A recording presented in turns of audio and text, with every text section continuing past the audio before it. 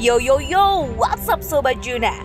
Nama Nasim Hamid memang tidak diragukan lagi, merupakan salah satu petinju kelas bulu terbaik sepanjang masa. Cara bertarung yang unik ketika di atas ring serta berbagai kemenangan ciamiknya membuat nama petinju ini kerap dibicarakan hingga sekarang.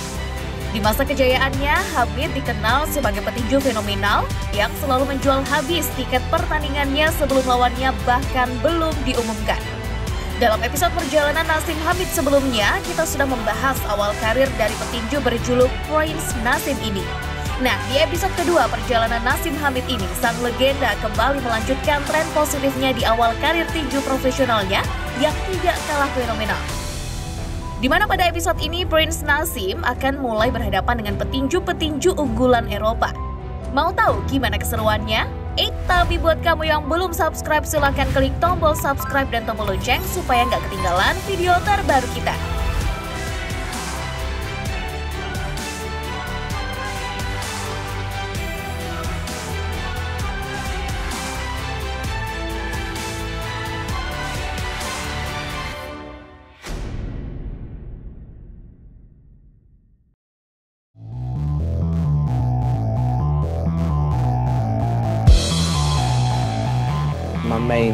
Aspect of my motivation is money. No, I would say it's to reach greatness. Uh, it's to become a legend, to be supreme, to be known for my boxing as the best ever.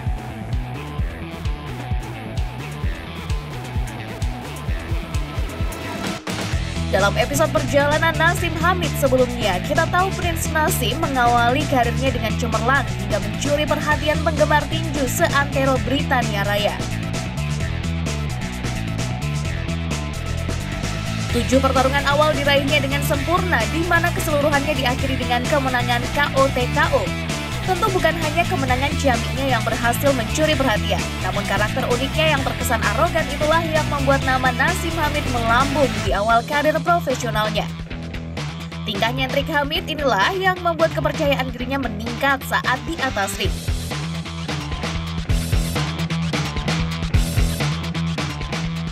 I'm not arrogant, I'm not cocky, I'm not, do you know what I mean? Uh, I just feel that I'm very, very confident. I reckon people see me, I don't reckon people see me and think, I hate him. I don't think that. Di usia yang masih 19 tahun, kegemilangan Hamid di atas ring terus berlanjut. Setelah berhasil membantai tujuh petinju Britania Raya, kini Prince Nasim kembali meneruskan kedikdayaannya di tanah Inggris. Dan inilah lanjutan perjalanan awal karir The Legend Prince Nasim Hamid.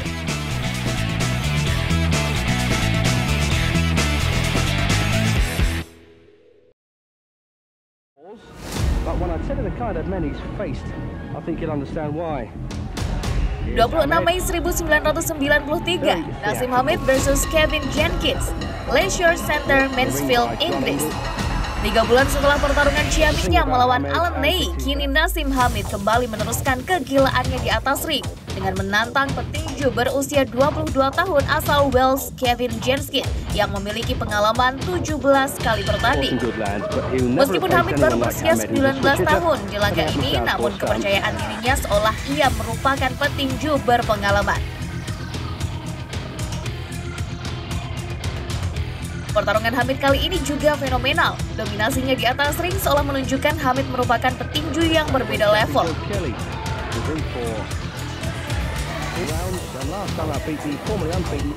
Di ronde pertama dominasi serta kelincahan kaki Hamid benar-benar membuat lawannya frustasi karena sulitnya untuk diimbangi. Begitu pula tingkah tengil Hamid di tengah-tengah pertarungan yang membuat Kevin Jenkins semakin frustasi. And you better believe it. Good round there for Ahmed.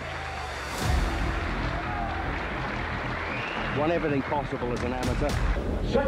Boxed for the England youth team as well. Round Memasuki ronde kedua, dominasi Prince Nasim semakin menggila. Ia bahkan berhasil menjatuhkan James Kins saat ronde kedua baru berjalan beberapa detik.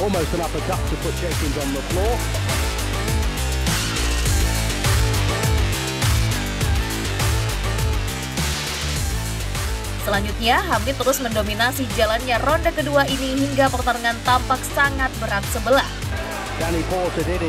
Beruntung Jenkins masih mampu selamat hingga ronde kedua berakhir.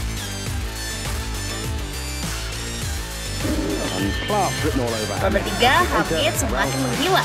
Di detik-detik awal, sebuah body shot mematikan Hamid berhasil membuat Jenkins tersungkur kesakitan. Belum berhenti di situ, keberingasan Hamid di ronde ini semakin brutal hingga membuat Jenkins hanya bisa pasrah. Semakin dibuat tak berdaya, wasit akhirnya menghentikan pertarungan di pertengahan ronde ketiga sekaligus menjadi kemenangan Nasim Hamid yang ke-8 dari 8 pertarungan pertama yang dijalaninya. Earlier.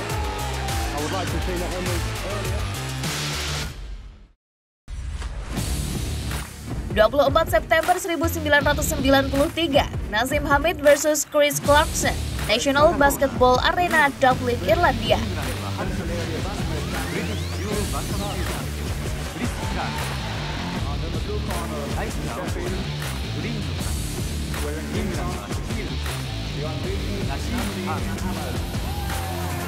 Setelah mengemas 8 kemenangan dari 8 pertarungannya, Prince Nasim Muda kembali melanjutkan petualangannya di atas ring.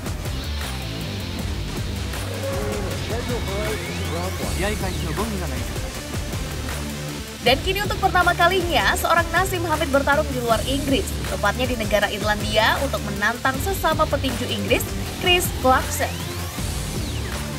Pertarungan bersejarah inilah di mana Prince Nasim mulai memperkenalkan dirinya ke penggemar tinju internasional. Bertarung untuk pertama kali di luar kampung halamannya, Prince Nasim tetap mempertahankan gaya bertarungnya yang sangat menghibur. Ronde pertama dilalui Hamid dengan sempurna. Serangan serta pergerakan licinnya benar-benar membuat Clarkson kesulitan untuk mengimbangi permainannya.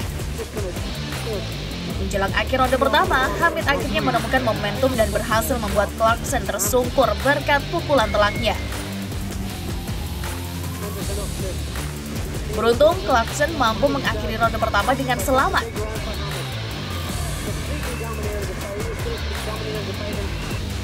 Memasuki ronde kedua, dominasi Hamid terus berlanjut. Seperti biasa, Clarkson hanya mampu mengelilingi ring demi terhindar dari serangan mematikan Prince Nasim.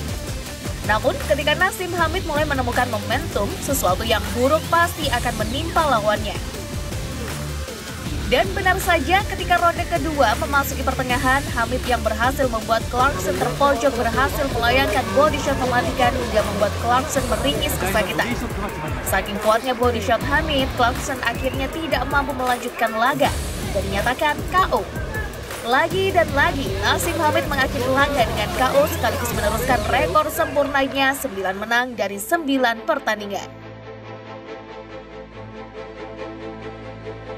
Kemenangan demi kemenangan yang diraih Nasim Hamid melawan petinju seantero Britania Raya membuat namanya semakin dikenal penikmat tinju internasional. Begitu pula kepercayaan diri Hamid yang terus meningkat dan berambisi untuk mengalahkan petinju mana pun. I've been training for 13 years now. As an amateur, I've won seven national titles. I beat everybody. I beat the Olympic champion from America. Um, as far as I'm concerned, I think I'm the best out there. And when I get out there, Gary, I will do the business and show the British public what they need to see. The main thing I've got is I've got a great heart. Uh, I've got lateral movement, ability on my feet. Uh, I can box, strength, you name it, I've got it.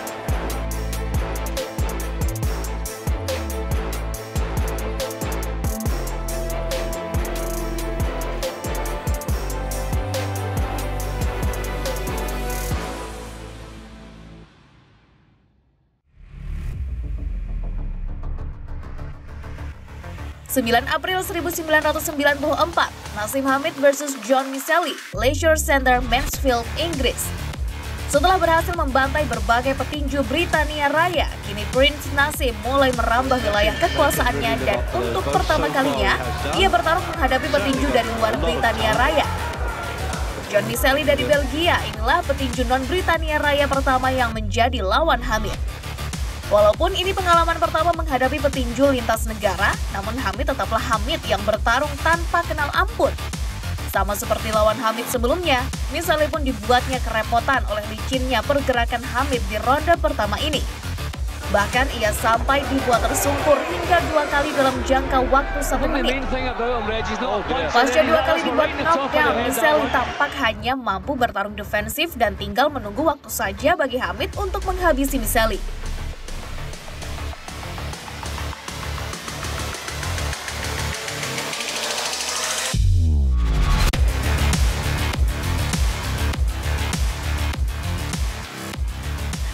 Saja, saat ronde pertama memasuki 10 detik akhir, Hamid menemukan momentum untuk melayangkan pukulan maut yang kembali membuat Misali tersungkur.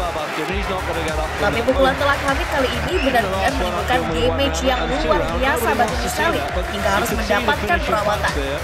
Lagi-lagi keberingasan Prince Nasim Hamid memakan korban, mana kali ini korbannya merupakan petinju non-Britania.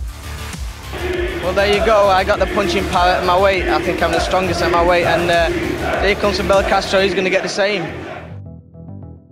Setelah menaklukkan Miseli dengan mudah, kini Nasim Hamid untuk pertama kalinya akan bertarung untuk memperebutkan gelar juara kelas Bantam Eropa. Di mana lawannya pada laga bersejarah ini adalah petinju tangguh asal Italia, Vincenzo Belcastro. Laga inilah pembuktian siapakah petinju kelas Bantam terbaik di benua Eropa. Well, he's a good fight. I've seen him box, but I think I've got all the skin in the skill in the world, and I'm ready to take any of them out. Oh, I'm aiming to be a legend. A legend. Let's let's forget the world titles. Well, three world titles that'll do me, but I'm aiming to be a legend, and I will be. Dan inilah laga perebutan gelar juara Eropa pertama dalam karir Prince Nasim Hamid. about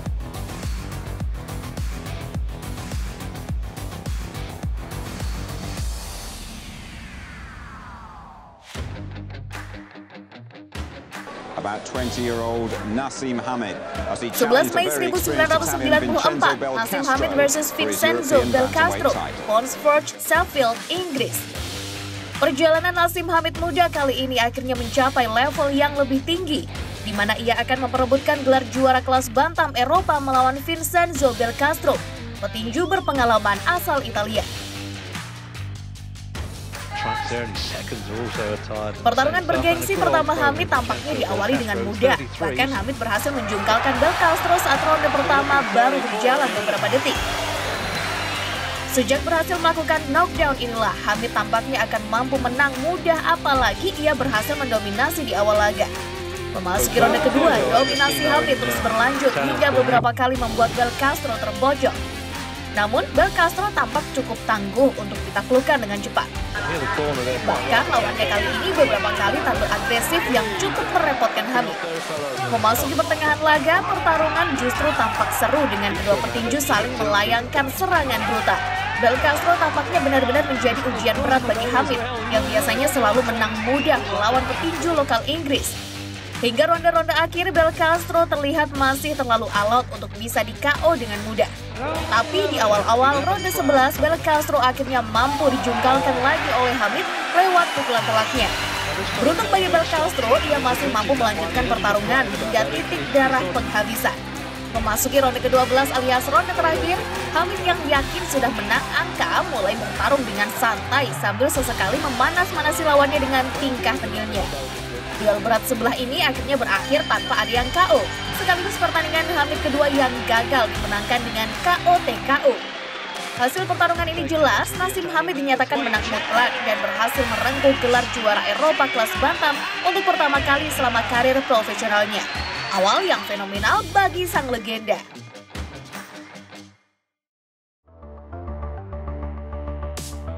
Setelah berhasil menjadi juara Eropa, Prince Nasim jelas akan menghadapi lawan-lawan yang lebih tangguh. Setelah menaklukkan Vincenzo Belcastro, selanjutnya Hamid akan ditantang petinju tangguh Italia lainnya yang akan merebut sabuk juara Eropa miliknya. Petinju ini ialah Antonio Picardi, petinju senior berusia 31 tahun yang mempunyai koleksi 24 kemenangan. Tentunya ia adalah lawan berat bagi Hamid, petinju muda yang baru melakoni 12 pertarungan. Penasaran gimana serunya duel ini? Nantikan episode selanjutnya ya. Nah, itu dia cuy, dokumenter perjalanan Nasim Hamid episode kedua. Gimana nih menurut kalian? Komen di bawah ya, dan jangan lupa untuk like lalu share video ini ke teman dan akun sosial media kalian. Sampai jumpa di video Junawi selanjutnya ya guys, terima kasih.